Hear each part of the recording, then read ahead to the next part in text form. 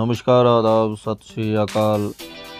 ਜੈ ਭੀਮ, ਜੈ ਸੰਵਿਧਾਨ, ਨਮੋ ਬੁੱਧਾਏ ਤੁਸੀਂ ਦੇਖ ਰਹੇ ਜੇ ਸਮਾਜਿਕ ਹਲਚਲ ਚੈਨਲ ਤੇ ਮੈਂ ਤੁਹਾਡਾ ਦੋਸਤ ਬਲਵਿੰਦਰ ਸਿੰਘ ਸ਼ੇਰਗਿੱਲ।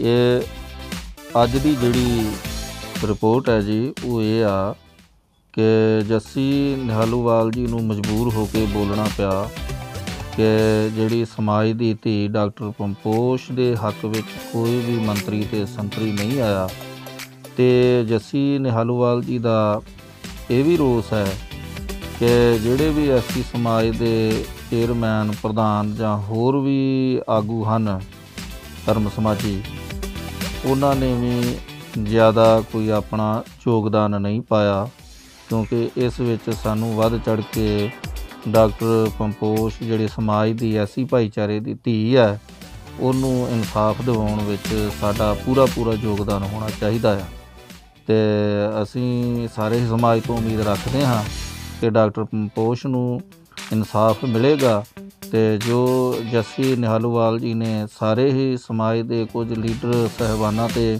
ਕੁਝ ਆਗੂਆਂ ਤੇ ਕੁਝ ਚੇਅਰਮੈਨਾਂ ਦੇ ਉੱਪਰ ਜੋ ਤੰਜ ਕੱਸਿਆ ਆ ਉਹਦੇ ਵਿੱਚ ਵੀ ਕੋਈ ਸ਼ੱਕ ਨਹੀਂ ਆ। ਸਾਨੂੰ ਸਾਰਿਆਂ ਨੂੰ ਇਕੱਠੇ ਹੋ ਕੇ ਡਾਕਟਰ ਪੰਪੋਸ਼ ਨੂੰ ਔਰ ਉਹਦੇ ਪਰਿਵਾਰ ਨੂੰ ਔਰ ਐਸੀ ਸਮਾਜ ਨੂੰ ਇਨਸਾਫ ਦਿਵਾਉਣਾ ਚਾਹੀਦਾ ਆ। ਮੈਂ ਹਾਂ ਤੁਹਾਡਾ ਦੋਸਤ ਬਲਵਿੰਦਰ ਸਿੰਘ ਸ਼ੇਰਗਿੱਲ ਔਰ ਤੁਸੀਂ ਸਮਾਜਿਕ ਹਲਚਲ ਚੈਨਲ ਨੂੰ ਬਹੁਤ ਹੀ ਮਾਣ, ਪਿਆਰ, ਸਤਿਕਾਰ ਬਖਸ਼ਿਆ। ਇਸ ਤਰ੍ਹਾਂ ਹੀ ਆਪਣਾ ਆਸ਼ੀਰਵਾਦ ਬਖਸ਼ਦੇ ਰਹਿਣਾ।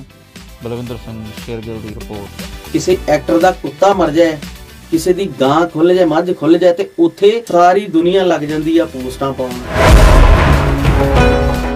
ਤੇ ਸਭ ਤੋਂ ਜ਼ਿਆਦਾ ਦੁੱਖ ਤਾਂ ਇਸ ਗੱਲ ਦਾ ਲੱਗਾ ਵੀ ਸਾਡੇ ਐਸੀ ਸਮਾਜ ਦੇ ਜਿਹੜੇ ਲੀਡਰ ਬਣੇ ਫਿਰਦੇ ਆ, ਜਿਹੜੇ ਅੱਜ 32 ਐਮਐਲਏ ਚੁਣ ਕੇ ਗਏ ਨੇ ਜਾਂ ਜਿਹੜੇ ਆਪੋਜੀਸ਼ਨ ਪਾਰਟੀਆਂ ਵਿੱਚ ਨੇ, ਉਹਨਾਂ ਨੂੰ ਵੀ ਸੱਪ ਸੁੰਘ ਗਿਆ। ਛੋਟੀਆਂ ਜਾਤਾਂ ਚੋਂ ਜਿਨ੍ਹਾਂ ਨੂੰ ਤੁਸੀਂ ਦਲਿਤ ਕਹਿੰਦੇ ਕਦੇ, ਜੇ ਉਹ ਉੱਠ ਕੇ ਆਪਣੀ ਮਿਹਨਤ ਕਰਕੇ ਪੜ੍ਹ ਕੇ ਪਹੁੰਚ ਗਈ ਤੇ ਉਹਨੂੰ ਇੰਨੀ ਕੁ ਪ੍ਰਤਾੜਨਾ ਦਿੱਤੀ ਗਈ, ਇੰਨੇ ਕੁ ਉਹਨੂੰ ਤਾਨੇ ਮਿਹਣੇ ਮਾਰੇ ਗਏ ਕਿ ਉਹਨੂੰ ਖੁਦਕੁਸ਼ੀ ਕਰਨੀ ਪਈ। ਮੈਂ 4 ਦਿਨ ਤੋਂ ਦੇਖ ਰਿਹਾ ਸੋਸ਼ਲ ਮੀਡੀਆ ਤੇ ਕਿਸੇ ਇੱਕ ਬੰਦੇ ਨੇ ਪੋਸਟ ਤੱਕ ਸਾਂਝੀ ਨਹੀਂ ਕੀਤੀ। ਕਾਲ ਨਮਸਤੇ, ਸਲਾਮ ਆਦਾਬ ਸਾਰਿਆਂ ਨੂੰ। ਵਾਹਿਗੁਰੂ ਜੀ ਕਾ ਖਾਲਸਾ, ਵਾਹਿਗੁਰੂ ਜੀ ਕੀ ਫਤਿਹ ਜੀ। ਮੈਂ ਤੁਹਾਡਾ ਆਪਣਾ ਜੱਸੀ ਨਿਹਾਲੂਵਾਲ ਔਰ ਸਾਰੇ ਹੀ ਸਤਿਕਾਰਯੋਗ ਸੱਜਣਾ ਮਿੱਤਰਾਂ, ਦੋਸਤਾਂ ਨਾਲ ਕੁਝ ਵਿਚਾਰ ਸਾਂਝੇ ਕਰਨੇ ਚਾਹੁੰਦਾ ਸੀ। ਥੋੜੇ ਦਿਨਾਂ ਤੋਂ ਕੱਲ ਪਰਸੋਂ ਦੋ ਤਿੰਨ ਦਿਨ ਤੋਂ ਮੈਂ ਲਾਈਵ ਵੀ ਹੋਣਾ ਚਾਹੁੰਦਾ ਸੀ, ਤੇ ਸੋਚਿਆ ਵੀਡੀਓ ਵੀ ਬਣਾ ਕੇ ਪਾ ਦਈਏ। ਦਿਲ ਨੂੰ ਇੱਕ ਧੱਕਾ ਲੱਗਾ, ਇੱਕ ਖਬਰ ਸੁਣੀ ਜਦੋਂ। ਤੇ ਫਿਰ ਸੋਚਿਆ ਵੀ ਨਹੀਂ, ਦੇਖਦੇ ਆਂ ਵੀ ਆਮ ਖਬਰਾਂ ਜਦੋਂ ਕੋਈ ਕੋਈ ਵੱਡੀ ਘਟਨਾ ਹੋ ਜਾਂਦੀ ਆ ਜਾਂ ਕੋਈ ਕਿਸੇ ਐਕਟਰ ਦੀ ਜਾਂ ਆਰਟਿਸਟ ਦੀ, ਕਲਾਕਾਰ ਦੀ ਜਾਂ ਕੋਈ ਹੋਰ ਸੜਕ ਹਾਦਸੇ 'ਚ ਜਾਂ ਕਿਸੇ ਨਾ ਕਿਸੇ ਤਰ੍ਹਾਂ ਕੋਈ ਮੌਤ ਹੋ ਜਾਂਦੀ ਆ, ਰੱਬ ਨਾ ਕਰੇ ਇਹੋ ਜਿਹਾ ਘਟ- ਕੋਈ ਹੋਵੇ ਚਾਂਸ ਜਾਂ ਕਿਸੇ ਨਾਲ ਕੋਈ ਹਾਦਸਾ ਵਾਪਰ ਜਾਂਦਾ ਤੇ ਸਾਰੀ ਦੁਨੀਆ ਲੱਗ ਜਾਂਦੀ ਆ ਪੋਸਟਾਂ ਪਾਉਣ। ਸਾਰੀ ਦੁਨੀਆ ਦੇ ਸੋਸ਼ਲ ਮੀਡੀਆ ਤੇ ਠਾ ਠਾ ਚੱਲ ਪੈਂਦਾ, ਇੱਕ ਦੌਰ ਚੱਲ ਪੈਂਦਾ, ਇੱਕ ਟ੍ਰੈਂਡ ਚੱਲ ਪੈਂਦਾ। ਸੋ ਦੋ ਤਿੰਨ ਦਿਨ ਬਾਅਦ ਅੱਜ ਗੱਲ ਕਰਨ ਦਾ ਮਕਸਦ ਇਹੀ ਹੈ ਕਿ ਦੇਖਣਾ ਚਾਹੁੰਦਾ ਸੀ ਮੈਂ ਵੀ ਕਿ ਕੀ ਲੋਕ ਇੰਨੇ ਕੁ ਸੁਹਿਰਦ ਹੈਗੇ ਆ ਕਿ ਗੱਲਾਂ ਬਹੁਤ ਹੁੰਦੀਆਂ ਕਿ ਜਾਤ ਪਾਤ ਦਾ ਕੋਈ ਨਹੀਂ ਆ, ਪੰਜਾਬ ਵਿੱਚ ਵੀ ਨਹੀਂ ਆ, ਕਿਤੇ ਨਹੀਂ ਆ, ਲੋਕ ਜਾਣਬੁੱਝ ਕੇ ਰੌਲਾ ਪਾਉਂਦੇ ਆ। ਇਹ ਦੇਖਣਾ ਚਾਹੁੰਦਾ ਸੀ ਵੀ ਕੀ ਇਹ ਵਾਕਿਆ ਹੀ ਸਚਾਈ ਹੈ ਗੌਰ ਲੋਕ ਕਰਦੇ ਆ ਕਿਸੇ ਮਾੜੇ ਬੰਦੇ ਤੇ? ਕਿਸੇ ਮਾੜੇ ਬੰਦੇ ਨਾਲ ਧੱਕਾ ਹੁੰਦਾ ਜਾਂ ਕੋਈ ਘਟਨਾ ਹੁੰਦੀ ਆ ਤੇ ਉਹਨੂੰ ਵੀ ਉਨਾ ਹੀ ਉਸੇ ਅੱਖ ਨਾਲ ਦੇਖਿਆ ਜਾਂਦਾ ਵੀ ਜਿਹੜਾ ਕਿਸੇ ਕਿਸੇ ਸੈਲੀਬ੍ਰਿਟੀ ਲਈ ਜਾਂ ਕਿਸੇ ਅਮੀਰ ਧਨਾੜ ਬੰਦੇ ਲਈ ਸੋਚ ਰੱਖੀ ਜਾਂਦੀ, ਪਰ ਨਹੀਂ।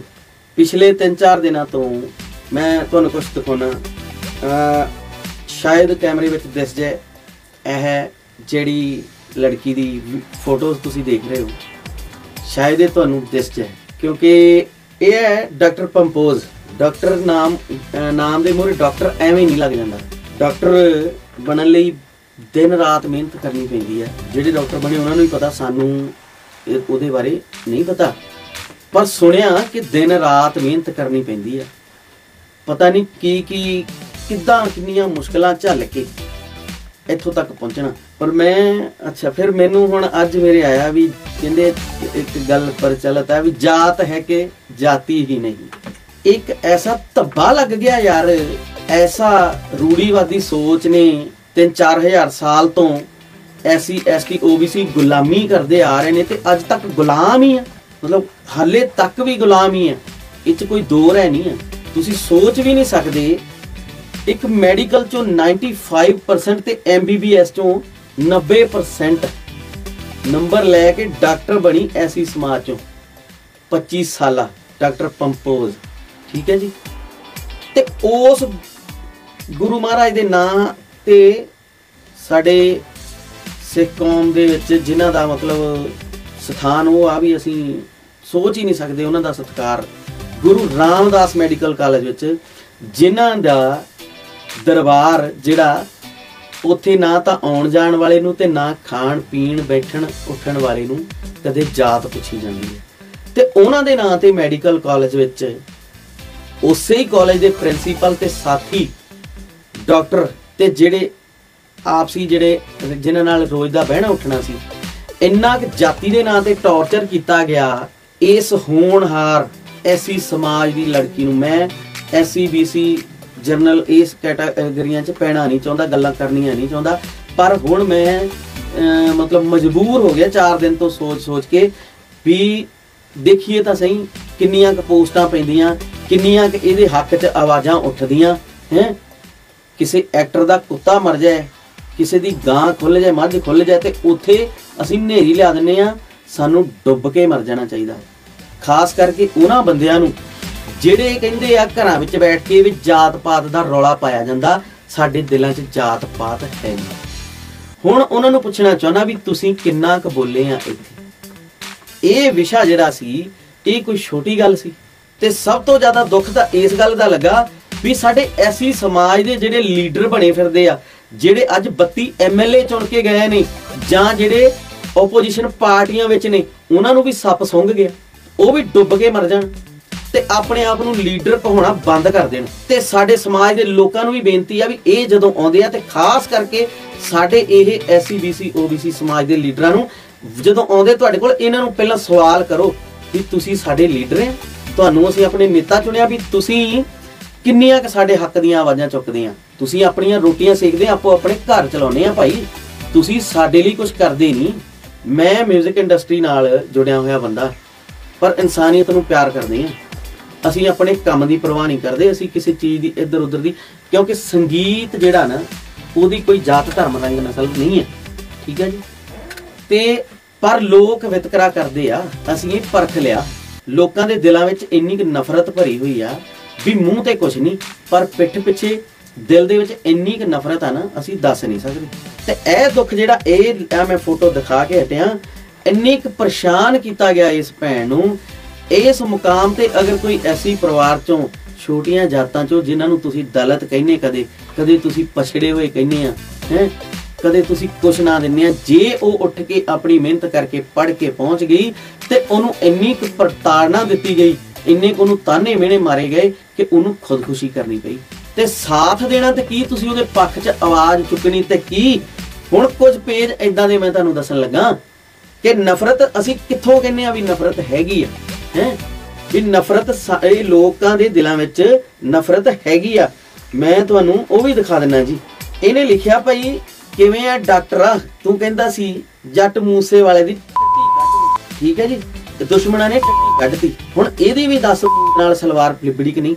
ਓਏ, ਮੈਂ ਗਾਲ ਨਹੀਂ ਕੱਢਣੀ ਚਾਹੁੰਦਾ। ਸਾਰਿਆਂ ਨੇ ਸੁਣਨਾ, ਸਾਡੇ ਸਮਾਜ ਵਿੱਚ ਧੀਆਂ ਭੈਣਾਂ ਨੇ ਵੀ ਸੁਣਨਾ। ਪਰ ਅਕਲ ਦਿਆ ਅੰਨਿਆ, ਤੂੰ ਕਿੱਧਰ ਦੀਆਂ ਗੱਲਾਂ, ਕਿੱਧਰ ਜੋੜਨ ਡਿਆ ਹੋਇਆ? ਕੋਈ ਸ਼ਰਮ ਨੂੰ ਹੱਥ ਮਾਰੋ ਕੋਈ। ਇਸ ਭੈਣ ਨੇ ਪਤਾ ਨਹੀਂ ਕਿੰਨੇ ਸਾਲ ਗਾਲੇ ਤੇ ਜਾਤੀ ਪ੍ਰਤਾੜਨਾ ਕਰਕੇ ਸੁਸਾਇਡ ਕੀਤਾ ਤੇ ਤੁਸੀਂ ਇਹਨੂੰ ਦੱਸਦੇ ਆ ਕਿ ਆਸ਼ਕ, ਭੂੰਡ ਆਸ਼ਕ ਵੱਲੋਂ ਸਤਾਈ ਹੋਈ ਨੇ ਸੁਸਾਈਡ ਕਰ ਲਿਆ। ਤੁਹਾਨੂੰ ਕੋਈ ਸ਼ਰਮ ਹਯਾ ਹੈਗਾ? ਤੁਹਾਡੇ ਅੰਦਰ ਕੋਈ ਇਨਸਾਨੀਅਤ ਨਾਂ ਦੀ ਚੀਜ਼ ਹੈਗੀ? ਦਿਲ ਵਿੱਚ, ਇਹ ਕੈਨੇਡਾ, ਅਮਰੀਕਾ ਬੈਠੇ ਜਾਤੀਵਾਦ ਦੇ ਜਿਹੜੇ ਧਨਾੜ, ਸਾਰੇ ਨਹੀਂ, ਸਾਡੇ ਬਹੁਤ ਸਤਿਕਾਰਯੋਗ ਆ ਸਾਰੇ।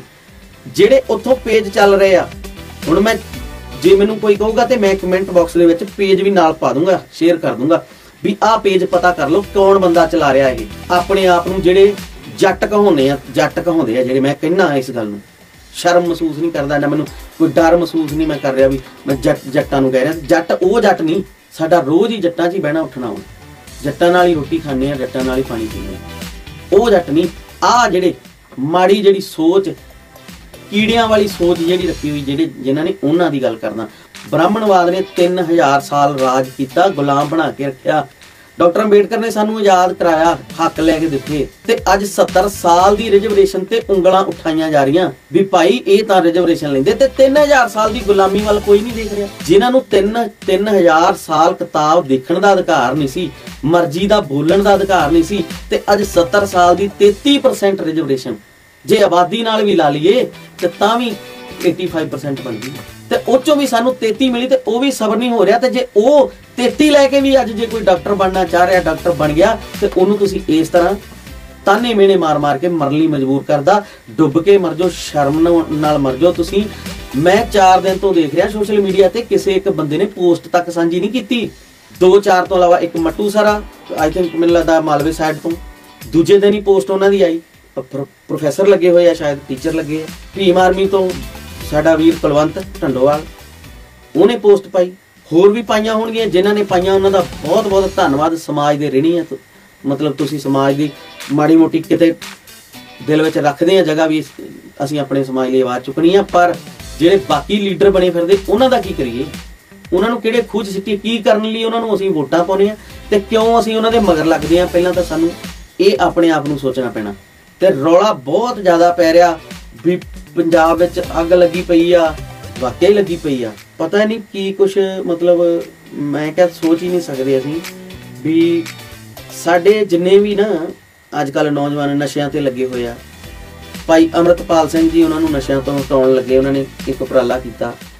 ਸਾਨੂੰ ਬੜੀ ਖੁਸ਼ੀ ਹੋਈ ਵੀ ਕੋਈ ਬੰਦਾ ਆਇਆ ਜਿਹੜਾ ਪੰਜਾਬ ਦੀ ਗੱਲ ਕਰ ਰਿਹਾ। ਤੇ ਕੁਝ ਕੁ ਸਮਾਂ ਪਿਆ ਤੇ ਉਹ ਸਾਡੇ ਭਾਈ ਸਾਹਿਬ ਪਤਾ ਨਹੀਂ ਕਿਹੜੀਆਂ ਚੱਕੀਆਂ ਚਕਾਈਆਂ ਤੋਂ ਆਏ ਉਹ, ਕੀ ਕੁਝ ਉਹ ਸੋਚ ਕੇ ਆਏ ਆ, ਕੀ ਨਹੀਂ।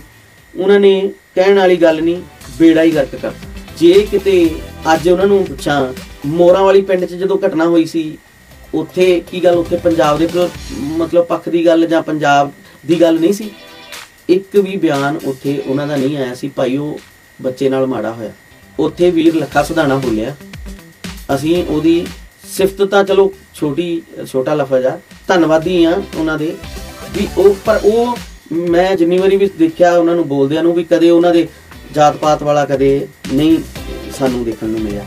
ਉੱਥੇ ਨਹੀਂ ਕੋਈ ਬੋਲਿਆ, ਨਾ ਕੋਈ ਅੰਮ੍ਰਿਤਪਾਲ, ਨਾ ਕੋਈ ਮੰਨਾ, ਨਾ ਕੋਈ ਛੰਨਾ, ਕੋਈ ਲੀਡਰ ਨਹੀਂ ਬੋਲਿਆ। ਅੱਜ ਐਡੀ ਵੱਡੀ ਘਟਨਾ ਹੋਈ ਨੂੰ 4 ਦਿਨ ਹੋ ਗਏ ਨੇ ਤੇ ਅੱਜ ਕਿਸੇ ਦੇ ਮੂੰਹ ਚੋਂ ਜ਼ਬਾਨ ਚੋਂ ਇੱਕ ਲਫ਼ਜ਼ ਨਹੀਂ ਫੁੱਟਿਆ। ਦੌਰ ਚੱਲ ਰਿਹਾ ਪੀਲੀਆਂ, ਕੱਚੀਆਂ ਪੀਲੀਆਂ ਪੱਗਾਂ ਦਾ। ਤੇ ਚੱਲਣਾ ਵੀ ਚਾਹੀਦਾ। ਬੰਨੋ ਭਾਈ, ਸਾਰੇ ਬੰਨੋ। ਪਰ ਆਹ ਦੌਰ 4 ਦਿਨ ਤੋਂ ਜਿਹੜਾ ਚੱਲ ਰਿਹਾ, ਇਹ ਕਿਸੇ ਨੂੰ ਨਹੀਂ ਦੱਸਿਆ। ਦਮਾਲਿਆਂ ਦਾ ਵੀ ਦੌਰ ਚੱਲ ਰਿਹਾ। ਉਹ ਇੱਕ ਸ- ਆਨੰਦਪੁਰ ਸਾਹਿਬ ਚ ਨਿਹੰਗ, ਸਾਹਿਬ, ਉਹਨਾਂ ਦੀ ਮਾੜੀ ਦੁਰਘਟਨਾ ਹੋਈ, ਡੈਥ ਹੋ ਗਈ। ਉਹ ਵੀ ਬੜਾ ਟ੍ਰੈਂਡ ਚੱਲਿਆ। ਔਰ ਇਹ ਵੀ ਕਿਸੇ ਦੀ ਧੀ ਭੈਣ ਸੀ। ਇਹ ਵੀ ਕਿਸੇ ਸਮਾਜ ਚੋਂ ਆ। ਇਹਦੇ ਲਈ ਕਿੰਨੇ ਆਵਾਜ਼ ਚੁੱਕੀ ਆ। ਪੁੱਛਣਾ ਤਾਂ ਇਹ ਚਾਹੁੰਦੇ ਆ ਅਸੀਂ ਵੀ ਕੋਈ ਵੀ ਐਸਾ ਇਨਸਾਨ ਨਹੀਂ। ਕਿਸੇ ਦੇ ਦਿਲ ਦੇ ਜਿਹੜੇ ਵਿੱਚ ਇਹ ਗੱਲ ਨਹੀਂ ਆਈ। ਕੋਈ ਕਲੇਜਾ ਨਹੀਂ ਬਲੂੰਦਰਿਆ ਗਿਆ ਇਹਦੇ ਨਾਲ। ਯਾਰ ਇੱਕ ਇੰਨੀ ਹੋਣਹਾਰ ਬੱਚੀ, ਇੰਨੀ ਇੱਥੋਂ ਤੱਕ ਪਹੁੰਚੀ, ਪਤਾ ਨਹੀਂ ਕਿੰਨੀ ਮਿਹਨਤ ਕਰਕੇ। ਤੇ ਅੱਜ ਉਹਦੇ ਨਾਲ ਹੋਇਆ ਕੀ ਹੈ ਐਫ ਆਈ ਆਰ ਦਰਜ ਹੋ ਚੁੱਕੀ। ਐਫ ਆਈ ਆਰ ਦਰਜ ਐਵੇਂ ਨਹੀਂ ਹੋ ਜਾਂਦੀ। ਬਾਈ ਨੇਮ ਐਫ ਆਈ ਆਰ ਦਰਜ ਹੋ ਚੁੱਕੀ। ਫੇਰ ਵੀ ਪੋਸਟਾਂ ਪੈ ਰਹੀਆਂ ਜੀ। ਕਿ ਇਹ ਤਾਂ ਇਦਾਂ ਸੀ ਜੀ, ਇਹ ਤਾਂ ਐਸ ਕਰਕੇ ਮਰ ਗਈ, ਇਹ ਤਾਂ ਐ ਸੀ, ਇਹ ਤਾਂ ਜੋਂ ਸੀ। ਉਹ ਲਫ਼ਜ਼ ਹੀ ਨਹੀਂ ਬੋਲਣਾ ਚਾਹੁੰਦਾ ਮੈਂ ਜਿਹੜੇ ਜਿਹੜੇ ਇਹ ਹੰਕਾਰੀਆਂ ਨੇ ਲਿਖੇ ਹੋਏ ਆ। ਸ਼ਰਮ ਕਰੋ ਹੰਕਾਰਿਓ। ਜੇ ਤੁਹਾਡੇ ਘਰੇ ਆਪਣੇ ਮਾਵਾਂ, ਭੈਣਾਂ, ਧੀਆਂ ਜਿਹੜੀਆਂ ਹੈਗੀਆਂ, ਉਹਨਾਂ ਨੂੰ ਕੱਲ ਨੂੰ ਕੋਈ ਟੌਰਚਰ ਕਰੇ, ਉਹ ਇਦਾਂ ਕਰਨ, ਤੇ ਫੇਰ ਤੁਹਾਡੇ ਤੇ ਕੀ ਬੀਤੇ, ਫੇਰ ਵੀ ਇਦਾਂ ਹੀ ਲਿਖੋਗੇ। ਤੇ ਮੇਰੀ ਬੇਨਤੀ ਆ ਸਾਡੇ ਸਮਾਜ ਦੇ ਲੀਡਰਾਂ ਨੂੰ ਨਹੀਂ, ਆਮ ਪਬਲਿਕ ਨੂੰ, ਕਿ ਭਾਈ ਅੱਜ ਉੱਠ ਕੇ ਖੜਨ ਦਾ ਵੇਲਾ, ਬੋਲੋ, ਇੱਥੇ ਕਿਸੇ ਨੇ ਤੁਹਾਡੀ ਬਾਹ ਨਹੀਂ ਫੜਨੀ, ਜਿੱਥੇ ਮਰਜ਼ੀ ਚਲੇ ਜਾਓ। ਜੇ ਤੁਸੀਂ ਆਪਸ ਵਿੱਚ ਇਕੱਠੇ ਨਾ ਹੋਏ ਅੱਜ, ਤੇ ਉਹ ਦਿਨ ਦੂਰ ਨਹੀਂ ਆ। ਫਿਰ ਜਦੋਂ ਤੁਹਾਨੂੰ 3000 ਦੀ ਜਿਹੜੀ 3000 ਸਾਲ ਦੀ ਗੁਲਾਮੀ ਜਿਹੜੀ ਪਹਿਲਾਂ ਚੱਲੀ ਆ ਨਾ ਤੁਹਾਡੇ ਪੁਰਖਿਆਂ ਨੇ, ਤੇ ਉਹ ਹੁਣ ਤੁਸੀਂ ਵੀ ਚੱਲਣ ਨੂੰ ਤਿਆਰ ਹੋ ਜਾਓ। ਇਹੀ ਹਾਲਾਤ ਰਹੇ ਤਾਂ। ਤੁਸੀਂ ਕਦਰ ਨਹੀਂ ਕੀਤੀ ਡਾਕਟਰ ਬਾਬਾ ਸਾਹਿਬ ਅੰਬੇਡਕਰ ਦੀ। ਤੁਸੀਂ ਉਹਨਾਂ ਨੇ ਤਪੱਸਿਆ ਜਿਹੜੀ ਸਾਡੇ ਲਈ ਦਿਨ ਰਾਤ ਕੀਤੀ, ਉਹਦੀ ਕਦਰ ਨਹੀਂ ਕੀਤੀ। ਉਹ ਸਾਡੇ ਲਈ ਨਹੀਂ ਕੀਤੀ, ਹਰ ਭਾਰਤੀ ਲਈ ਕੀਤੀ। ਜੇ ਅਸੀਂ ਆਪਣੇ ਜੇ ਕੋਈ ਲੋਕ ਕਹਿੰਦੇ ਨਾ ਅਸੀਂ ਹਿੰਦੂ ਆ, ਤੇ ਹਿੰਦੂ ਔਰਤਾਂ ਨੂੰ ਤਾਂ ਉਹਨਾਂ ਦੀ ਪੂਜਾ ਕਰਨੀ ਚਾਹੀਦੀ ਆ। ਘਰਾਂ ਚੋਂ ਨਿਕਲਣ ਦਾ ਅਧਿਕਾਰ ਨਹੀਂ ਸੀ ਤੁਹਾਨੂੰ। ਕਦੇ ਪੜੋ ਸੰਵਿਧਾਨ, ਤੁਹਾਨੂੰ ਪਤਾ ਲੱਗੇ। ਤੁਹਾਡੇ ਲਈ ਕਰਕੇ ਕੀ ਗਏ ਨੇ ਡਾਕਟਰ ਬਾਬਾ ਸਾਹਿਬ ਅੰਬੇਡਕਰ? ਤੇ ਤੁਸੀਂ ਕਿਹੜੀ ਜਗ੍ਹਾ ਤੇ ਰੱਖ ਕੇ ਬੈਠੇ ਉਹਨਾਂ ਨੂੰ? ਬੜੇ ਦੁੱਖ ਨਾਲ ਅੱਜ ਇਹ ਵੀਡੀਓ ਮੈਂ ਬਣਾਈ ਆ। ਦੁਖੀ ਹੋ ਕੇ 4 ਦਿਨ ਤੋਂ ਦੇਖ ਰਿਹਾ ਮੈਂ ਕਿ ਕਿੰਨੀਆਂ ਕੁ ਪੋਸਟਾਂ ਡਾਕਟਰ ਕੰਪੋਜ਼ ਦੇ ਹੱਕ ਵਿੱਚ ਪੈ ਰਹੀਆਂ, ਕਿੰਨੀਆਂ ਕੁ ਵੀਡੀਓ ਕਿੰਨੇ ਕੁ ਟ੍ਰੈਂਡ ਚੱਲਦੇ ਨੇ। ਹਫਤਾ ਹਫਤਾ 10-10 ਦਿਨ ਸਾਡੇ ਮੁਲਾਜ਼ਮ ਵੀਰ ਦਾ ਗੁੱਟ ਵੱਢਿਆ ਗਿਆ ਤੇ ਮੈਂ ਵੀ ਫਲਾਨਾ ਨਾਂ ਨਹੀਂ ਮੈਂ ਲੈਣਾ ਚਾਹੁੰਦਾ। ਮੈਂ ਵੀ ਫਲਾਨਾ ਲਿਖ ਲਿਖ ਪੋਸਟਾਂ ਪੈਂਦੀਆਂ ਸੀ। ਅੱਜ ਕਿੰਨੀਆਂ ਕੁ ਪੋਸਟਾਂ ਪਈਆਂ ਕਿ ਮੈਂ ਵੀ ਡਾਕਟਰ ਕੰਪੋਜ਼ ਅਸੀਂ ਇੰਨੀਆਂ ਕੁ ਮਤਲਬ ਬੇਨਤੀਆਂ ਕਰਦੇ ਆਂ ਵੀ ਇੱਕ ਨਾ, ਇੱਕ ਨਿਗਾਹ ਨਾਲ ਜਾਂ ਤਾਂ ਫਿਰ ਦੇਖੋ ਸਾਰਿਆਂ ਨੂੰ। ਨਹੀਂ ਤਾਂ ਫਿਰ ਆਪਣੇ ਜਿਹੜਾ ਮੋਢੇ ਤੇ ਝੰਡਾ ਕਿੰਨੇ ਨਾ ਮੇਰੇ ਹੀ ਚੁੱਕਿਆ ਹੋਇਆ, ਉਹ ਲਾ ਕੇ ਸਾਈਡ ਤੇ ਰੱਖ ਦਿਓ। ਤੁਸੀਂ ਉਸ ਝੰਡੇ ਦੇ ਲਾਇਕ ਨਹੀਂ ਹੈਗੇ। ਜਿੰਨੇ ਵੀ ਆਪਣੇ ਆਪ ਨੂੰ ਸਮਾਜ ਸੇਵੀ ਕਹਿੰਦੇ ਆ, ਸਮਾਜ ਵਿੱਚ ਕੋਈ ਜਾਤ ਪਾਤ ਧਰਮ ਨਹੀਂ ਆਉਂਦਾ। ਜਿੰਨੇ ਵੀ ਆਪਣੇ ਆਪ ਨੂੰ ਜਥੇਬੰਦੀਆਂ ਦੇ ਲੀਡਰ ਕਹਿੰਦੇ ਆ ਜਥੇਬੰਦੀਆਂ 'ਚ ਵੀ ਕੋਈ ਜਾਤ ਧਰਮ ਰੰਗ ਨਸਲ ਨਹੀਂ ਆਉਂਦਾ ਹੁੰਦਾ। ਜਦੋਂ ਜਥੇਬੰਦ ਹੋਵੇ ਤਾਂ ਜੱਥਾ ਮਤਲਬ ਸਭ ਨੂੰ ਮਿਲਾ ਕੇ ਜੱਥਾ ਬਣਦਾ ਹੁੰਦਾ। ਤੇ ਉਹ ਜਥੇਬੰਦੀਆਂ ਦੇ ਆਗੂਆਂ ਨੂੰ ਵੀ ਸ਼ਰਮ ਨਹੀਂ ਆਈ। ਸਾਡੀਆਂ ਆਪਣੀਆਂ ਸੰਸਥਾਵਾਂ ਜਿਹੜੀਆਂ ਬਣਾਈਆਂ ਹੋਈਆਂ, ਅਸੀਂ ਬਹੁਤ ਸਮਾਜ ਦੇ ਹਮਦਰਦੀ ਵਰਦੇ ਆ ਇਮਾਨਦਾਰੀ ਓਨੈਸਟੀ ਲੈ ਕੇ ਚੱਲਦੇ ਹਾਂ ਅਸੀਂ। ਉਹਨਾਂ ਸਾਡੇ ਲੀਡਰਾਂ ਨੂੰ ਵੀ ਸ਼ਰਮ ਨਹੀਂ ਆਈ ਵੀ ਅਸੀਂ ਇਹ ਕਦੋਂ ਆਵਾਜ਼ ਚੁੱਕਣੀ ਹੈ। ਸੋ ਮੇਰੀ ਬੇਨਤੀ ਆ, ਸਮਾਜ ਨੂੰ ਵੀ ਉੱਠੋ ਇਸ ਭੈਣ ਦੇ ਹੱਕ ਵਿੱਚ ਆਵਾਜ਼ ਚੁੱਕੋ। ਨਹੀਂ ਤਾਂ ਆਉਣ ਵਾਲੇ ਦਿਨਾਂ ਵਿੱਚ ਤੁਹਾਡੀਆਂ ਧੀਆਂ ਭੈਣਾਂ ਨਾਲ ਵੀ ਇਦਾਂ ਦੀਆਂ ਹਰਕਤਾਂ ਇਹੋ ਜਿਹੀਆਂ ਘਟਨਾਵਾਂ ਹੋਣੀਆਂ। ਇਸ ਤੋਂ ਵੀ ਬਦਤਰ ਹੋਣੀਆਂ। ਉਹ ਕਹਿਣ 'ਚ ਕੋਈ ਗੁਰੇਜ ਨਹੀਂ ਆ ਕਿ ਤੁਸੀਂ ਅੱਖਾਂ 'ਚ ਘਸੁੰਨ ਦੇ ਦੇ ਕੇ ਰੋਣਾ ਕਿ ਉਦੋਂ ਕਿਉਂ ਨਹੀਂ ਸੀ ਉੱਠੇ। ਅੱਜ ਟਾਈਮ ਆ। ਅੱਜ ਜੇ ਨਾ ਸੰਭਾਲਿਆ ਤੇ ਕਦੇ ਵੀ ਨਹੀਂ ਸੰਭਾਲ ਹੋਣਾ। ਤੇ 3000 ਸਾਲ ਦੀ ਜਿਹੜੀ ਗੁਲਾਮੀ ਚੱਲੀ ਆ, ਉਹ ਦੁਬਾਰਾ ਆਉਣ ਵਾਲੀ ਆ ਤੁਹਾਡੇ ਤੇ। ਆਪਣੇ ਆਪ ਸੰਭਲ ਜੋ, ਉੱਠ ਜੋ, ਆਵਾਜ਼ ਬੁਲੰਦ ਕਰੋ। ਜੈ ਭੀਮ, ਜੈ ਭਾਰਤ। ਵਾਹਿਗੁਰੂ ਜੀ ਕਾ ਖਾਲਸਾ, ਵਾਹਿਗੁਰੂ ਜੀ ਕੀ ਫਤਿਹ। ਇਸ ਵੀਡੀਓ ਨੂੰ ਦੇਖ ਕੇ ਤੁਹਾਨੂੰ ਕਿਵੇਂ ਦਾ ਲੱਗਾ ਜੀ? ਆਪਣੇ ਕਮੈਂਟ ਜ਼ਰੂਰ ਸਾਨੂੰ ਭੇਜਣਾ ਔਰ ਚੈਨਲ ਨੂੰ ਲਾਈਕ ਸ਼ੇਅਰ ਸਬਸਕ੍ਰਾਈਬ ਜ਼ਰੂਰ ਕਰਨਾ। ਵੀਡੀਓ ਨੂੰ ਵੱਧ ਤੋਂ ਵੱਧ ਸ਼ੇਅਰ ਕਰਨਾ ਜੀ। ਮਨੋ ਬਲ ਜਿਹੜਾ ਆ ਬਣਿਆ ਰਵੇ। ਔਰ ਜਮੀਰ ਦੀ ਆਵਾਜ਼ ਚੈਨਲ ਨੂੰ ਤੁਸੀਂ ਇਸ ਤਰ੍ਹਾਂ ਹੀ ਮਾਣ, ਪਿਆਰ, ਸਤਿਕਾਰ ਆਸ਼ੀਰਵਾਦ ਬਖਸ਼ਣਾ। ਮੈਂ ਹਾਂ ਤੁਹਾਡਾ ਦੋਸਤ ਬਲਵਿੰਦਰ ਸਿੰਘ ਸ਼ੇਰਗਿੱਲ। ਤੁਹਾਡਾ ਸਾਰਿਆਂ ਦਾ ਤਹਿ ਦਿਲੋਂ ਸ਼ੁਕਰਗੁਜ਼ਾਰ ਜੀ।